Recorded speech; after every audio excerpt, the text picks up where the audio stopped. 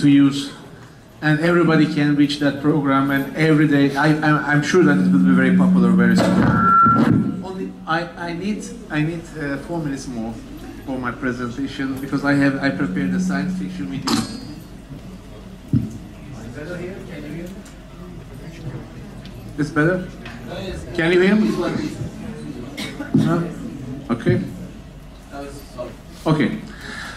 I divided in two parts. Uh, coverage value, I want to explain what it is. Maybe it's becoming more complicated, and I, will, I will try to make it very simply and understandable by everybody. And in the second part, uh, I, I, I, want to show you a new system, a new robot uh, for uh, calculating the donor areas. I want to start with coverage value part. What's my donor capacity? How many grafts do I need for a good coverage? These are the most frequent questions our patients are asking us every day. And you realize every patient, every doctor is giving a different answer. 3,000, 5,000 donor capacities. According to their own capacities, they're answering uh, different numbers. So patients are shocked. They don't know what they need because we don't have an objective criteria for coverage and donor capacity. And when we don't have a scientific objective criteria, what happens? The competition in the field, high graft numbers, and we started to see over-depleted donor areas. And you can see that these are these disaster results. So we have, uh, to prevent this type, we need a criteria. To, to find a criteria, we have to know about coverage. You can see two photos uh, from the garden. At the left side, you can see the ground. At the right side, is better coverage two criteria are the number of the grasses and the thickness of the grasses. These are the two criteria, the, the diameter, the thickness, the caliber, and the number of the uh, grasses. So the same for the hair. If you want to find the area, we are multiplying two sides. So we can find the area. Area is the coverage. So when we multiply with the number of the hair, with the thickness of the hair, we are finding the coverage. James Harris in 2003, he also mentioned that the visual density is related to shaft diameter and the number of the hairs. So in my daily practice, these are the equipments that I'm using. It's a caliber meter. I, am using three different caliber meters. So I have a, I'm choosing one hair, two hair from different areas, and I'm finding the caliber of the hair. But the problem with that, all these mechanical systems are giving different numbers.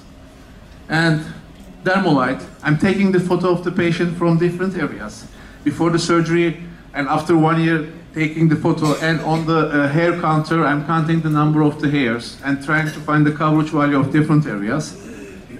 And this is a graft calculator. This application I'm using uh, in surgeries. So during my extraction, I have to control my hair per graft average because it should be in a sequence with the coverage value system. So I need also uh, this graft calculator taking the photos, hair counter, fi finding the number of the hairs. I, I, know the caliber before cutting his hair. I know the calibers and multiplying them and finding the coverage value. Number of the hairs, the thickness of the hair, and the coverage value. 5.4. Why 5.4? We discussed it was many times. When you place 45 grafts with the average of 2.2 hair, and which is 55 micron, these are the averages of European patients, you are getting this coverage. This coverage is acceptable minimum coverage. But if, you, if, I, if I make the hair wet, you can see the skin. This is the minimum acceptable coverage. So we can accept 5.4 as a, a criteria. So I started to use in my patients. Uh, before the surgery, when they come to me, I am taking the points and taking the photos. I know the calibers, 120, 70 micron. When I multiply 8.4 before the surgery, and when he came for the second surgery after one year, you can see the extracted white dyes That's, and you see the coverage value is 7, from 8, 8.4 to 7. So I know how many grafts I should extract from that area not to create over depletion. So in my daily practice, I started to use it. So I want to show you my calculation system. Uh, I choose two patients, A patient and B patient. They look similar. If you show any doctor, uh, if you ask their donor capacities, probably they will give you similar numbers. But when we calculate with the numbers, you will see a big difference. They are totally different from each other. And another point we don't have to uh, forget, donor area is not safe. We are also losing donor capacities every year. 5% in 10 years, we discussed yesterday about the debate. So I estimated we are using, according to my, this, these numbers, semi-scientific, because these are my observations. Uh, maybe we will get uh, real numbers in one year's time by using the robotic system. We are losing 15 percentage at the temporal and 10 percentage and 10 percent occipital and parietal areas. And oh, we also add our calculations these possible loss in the future, not to create over-depleted areas. For example, his left temporal area, which is 35 centimeters square, I started with the left side patient, A patient. The coverage value is 7.8 on his left temp uh, temporal area. How I find that? I know the caliber, 52 micron. I know the density, 7 to 3 follicular unit per square centimeter. And I know the number of hair per follicular unit calculated density, which is 2.06. So when I multiply these numbers, I'm finding 7.8. If he may lose in the future 15 percentage, then I can accept it as 6.63. And if my limit is 5.4, then I can change his coverage value maximum 1.23. Uh, so if during the surgery, now uh, we need a graft calculator. Uh, so during the surgery, I'm checking my hair per graft averages. And I estimated, or during the surgery, if my hair per graft average is 2.06, the caliber is the same. So by using the same formula, I can find how many grafts I can extract from that patient, which is 11.2 from each centimeter square. And if the area is 35 centimeters square, when I multiply it, I can extract from his left uh, uh, temporal area 392 grafts with the average of 2.06 hair per graft without depleting his donor area and including his future hair loss. So if I completed the system in different areas, as a donor capacity, I find 5,812 for this patient, which is 30 percentage of total follicular needs. But the right side patient, even they look similar, it's a, totally a different case. His coverage value is 14.6 at his parietal temporal area, uh, at the left temporal area. And if I repeat the same formula, everything will be different. You see here, his total donor capacity is 12,885, nearly two times, and which is 56 uh, percentage of his total follicular unit. We can use the same system, coverage value system, in the recipient area. Now you see 80 here, 80 hair, uh, 100 here, and 120 here per square centimeter in the recipient area with 50 micron.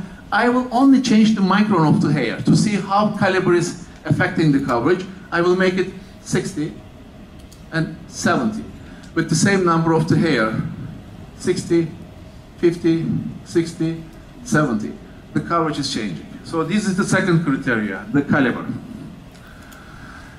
I'm using the system for three years. From 53 countries uh, I one by one we take the photos the calibers of the hair and we are trying to get an average for worldwide. And we got these numbers 8.1 9.6 for the parietal and occipital 12.96. And uh, highest Indian patients, you can see the uh, averages of Indian patients, lowest Scandinavian patients from that uh, 53 countries. This is why this is important. If you want to start 5.4 for the temporal area, and if you want to find a limit for parietal and occipital areas, we can use these ranges. Uh, also for any country, we can choose another range. And according to my evaluations, you can see, if I use a coverage value system, according to the coverage value, we can find how many of the hair, ratio of the hair can be extracted from that area. And if the coverage value is like uh, 20, you can reach to 70% of hair can be extracted in, in the limit of not over-harvesting. But coverage value is not enough because we have problems. Another case, he came to me in 2015, 4,500 grafts with average of 2.02. It was 14.4 in his first surgery. In 2016, second time, 4,000 more, 12.1. And he came this year again, 1,200 more. Uh, before the surgery, it was 10.2. But there's a problem with that system. The first problem, even you choose points, it's not possible to get the same point, take a photo, you are missing one millimeter, changing everything. and the average of the hair is different in different areas. This hair, I use different type of calibrometers. The same hair, with all of them, I'm getting a different number. Because of the pressure, elasticity of the hair, everything is different. So I realized this mechanical system are giving you an idea, but not exactly the right thing. And another thing, coverage value is not enough. We have to improve it. Because we, are, we have also another factor, the angulation of the hair. We need a constant number. And also the main thing, we have to create uh, an, an, a number with the contrast, hair contrast between the skin and the hair color contrast. So with every different type of hair, because in my daily, I look at seven, another patient seven, but they, they look different. So coverage value is not enough. At least we started a criteria, and together, all hair surgeons, we have to improve it according to our daily practices, observations. So, and at least we have a scientific criteria. To improve it, I know the, the best result is by visually uh, calculate the caliber of the hair. So that's the reason we created a, a scanning system uh, with Professor Oğuzhan together, and uh, a science fiction movie is starting.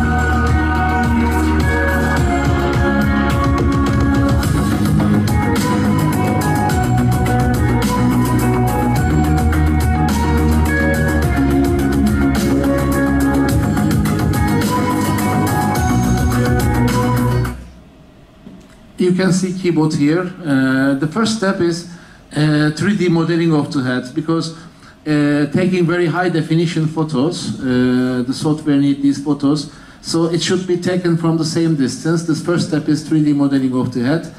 And after that, it started to scan the donor area, the caliber of each hair, the caliber of each hair, and then the, uh, the the area of the parietal occipital temporal size, counting the follicular numbers and calculated numbers before the surgery. And after finishing the donor area before the surgery, scanning the recipient area also.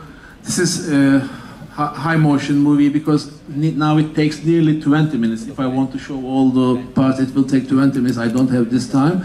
Now scanning the recipient area, finding, also calculating the coverage value of the uh, recipient area, so how many grafts do I need to make a good coverage on that side? And after the surgery, I like this part very much because you know the ethical. When when your patient come to me, they never know that their previous surgery, how many graft transplant. They never say, doctor transplant me 3,000 grafts. They always say, they say 3,000 grafts. Because they really don't know. They, they don't have any chance to count them. It's scanning the donor area, counting the number of the extraction holes. So after finishing, the, also calculating the donor coverage value after the surgery, and also partial transection rate, because we don't know real partial transection rate and total transection rate. We know total transection rate easy, but if you compare the holes and if you count the number of the grafts, you can find the total uh, total transection rate. But the, by the help of this system, you have a chance to see the partial. We, we are working for, uh, on it for a long time, and we need more time. I was planning to bring it here, but we have some custom problems. And probably in uh, eight uh, uh, months or six months, it will be ready totally, because the, the software system is also learning itself. We have to improve it. Uh, every day now we are scanning five patients uh, with Dr. Professor Oğuzhan together, and he's my hero. I want him to present uh, five minutes. He will, for technical parts of this, you can ask your questions, and he will make a presentation uh, from the most known university expertise in, in image processing. Thank you.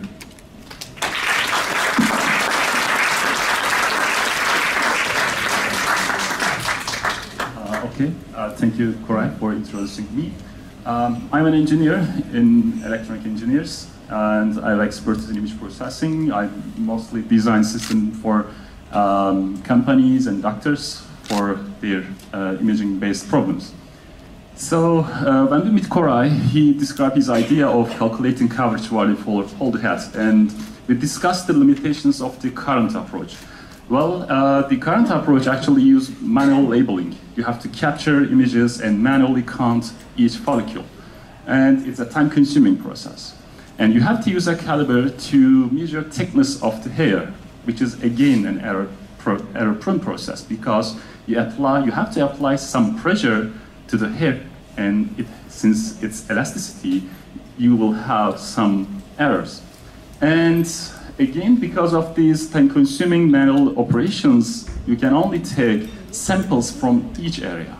So this is another limitations. So when we discuss these, all these limitations, we started to develop a system using a robot. And the, the robot is named as Keybot. Okay, uh, Keybot is based on a collaborative robot. Robots are finding applications in industry for many years, but collaborative robots are designed to work together with humans. So they have sensors uh, to, to, to sense human and to work with them in the same environment. And we have some uh, really challenging problems. We have to capture hair at a very high resolution to calculate it, to calculate the distance, uh, the, the thickness, and to calculate the number of follicles and the number of hair in each follicle. So we have to use a very high resolution camera, so our camera captures 18 megapixel image. And we also need to know the um, 3D model of the hat. In order to capture it, we are using a time-of-flight camera to capture a 3D model of the hat. And we also have some additional problems, such as limited depth of field. When you try to capture close-up photos, you have very limited depth of field. And it takes things very, it makes things very hard. We have to be um, at a fixed distance to the hat, so route planning is important. So we have a special route planning algorithm running at the background. And we also have some problems originating from the perspective.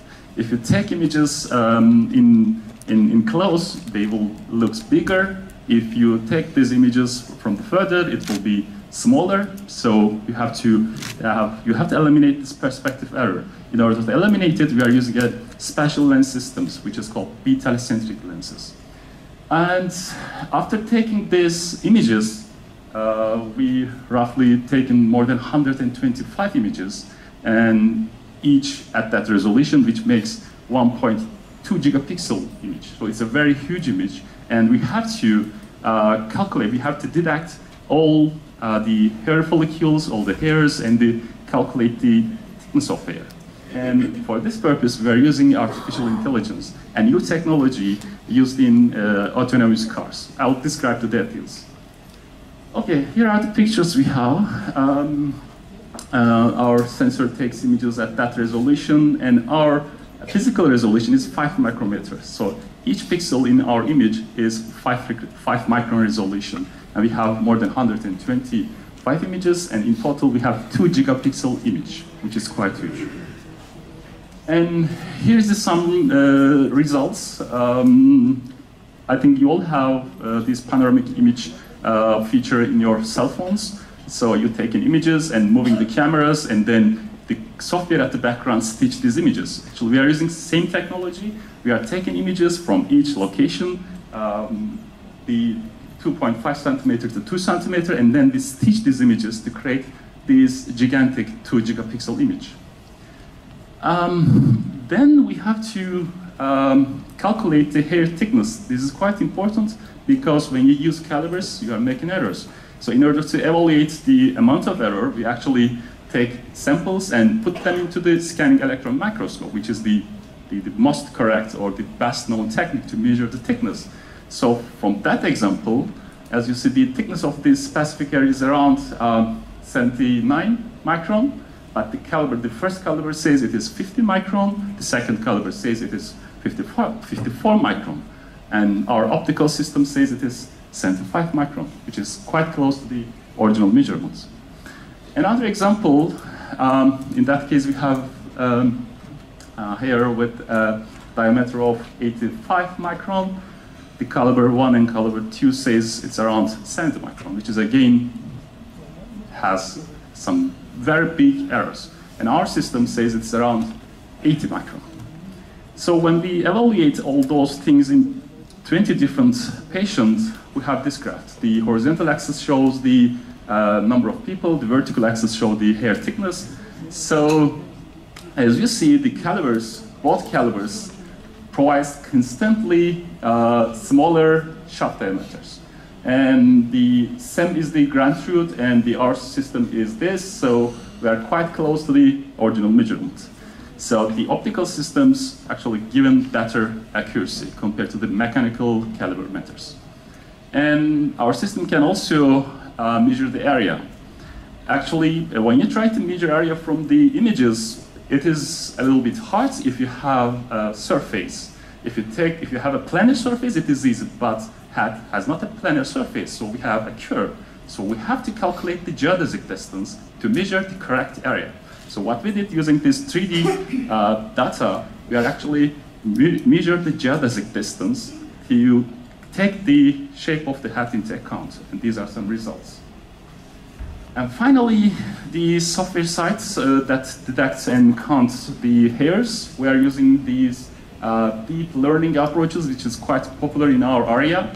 And um, it's a quite promising approach. You give some samples to train the algorithm. After some training, using maybe 100,000 images, maybe million images, they can, uh, these kind of algorithms gives you the uh, correct results. They work on in GPU's graphical processing. And here are some real-life examples uh, of these deep learning approaches. The autonomous cars actually use deep learning approaches. They are taking images, they are learning day by day, and they're improving their performance. And we have some recent applications in the medical field for example, uh, this, in, this BBC News says art, artificial intelligence as good as cancer doctors. So they can detect the cancer as good as the special doctors, the doctors that have specialty on it. Another one, uh, this uh, algorithm developed by the team in Stanford can detect uh, pneumonia better than radiologists. So there's an ongoing debate among radiologists if they will find a job in the near future. And here's the trend. Um, uh, this is an image recognition um, task, uh, and the people has around 0.5 uh, percent uh, of the 0.5 percent accuracy or error rate, let's say. And the algorithms are developing day by day, and starting from 2016, algorithms are performing better than humans. So this is the time to use algorithms or artificial intelligence for the repetitive tasks. And these are our first experimental results. Uh, we take um, images from more than 100 persons specifications, and then we manually label all the uh, hairs and then train our algorithms, train our deep network, and these are our first results. And these are calculated automatically by the algorithm without any human operator intervention. So these are the numbers. In that specific example, we have uh, a coverage value of 6.3. And it's a close-up image. So manual intervention is eliminated. All those things are calculated automatically. Another picture uh, from the donor area. As you see, we have blood spots. So we can also detect the blood spots. And here are the extraction regions. So having all those things, we can calculate the coverage value for whole head. And we can create an image, a model like this. So you are, at past, uh, you can only calculate the coverage value for sample regions uh, from the sample areas. By this new robotic technology, the coverage value can be calculated for whole head. This is very important to evaluate the, uh, the, the, the, the, operation. Um, the, my, here's my conclusions. Um, um, the Keybot, the robot we developed with Koray, is able to capture whole head uh, using a high resolution camera and time of flight sensor. Uh, we have a custom deep learning uh, based approach, artificial intelligence approach, and we are training the algorithm every day. We are getting better results when we increase the number of samples.